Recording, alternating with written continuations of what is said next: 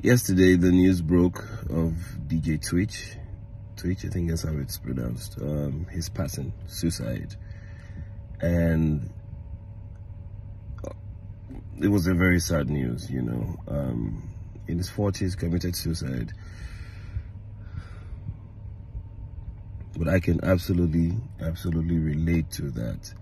Sometimes when they say, "Oh boy, how are you? How are you doing?" I did. I'm fine. How's it going? Ah, I'm day. Oh, nice one. Hey, it's it's never really fine as we say. I'm fine. Sometimes it's always more than that. Men, we go through a lot as men, even as women also. But speaking about men, it's crazy.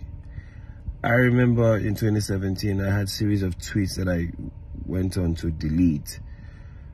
It was very suicidal. I someone called me a year later and said, "Can I go and delete those tweets?" Because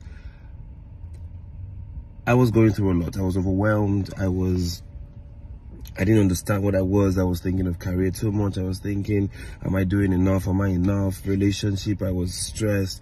Am I doing the right thing? Am I with the right person? Is this working? Is this not working? Was all the stress? Am I not the peace? Am I am I, am I, am I, am I, so many thoughts in my mind. Um, work was overwhelming.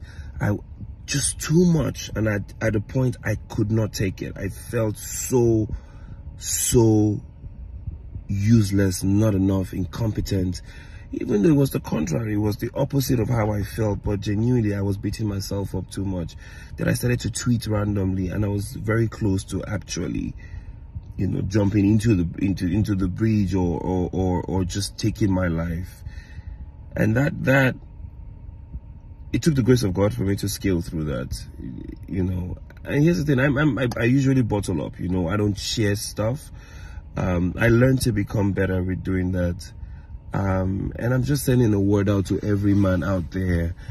Look, it's not easy. It's not gonna be easy, but hey, always talk to someone. Let's have someone in our corner that we can always talk to and open up with.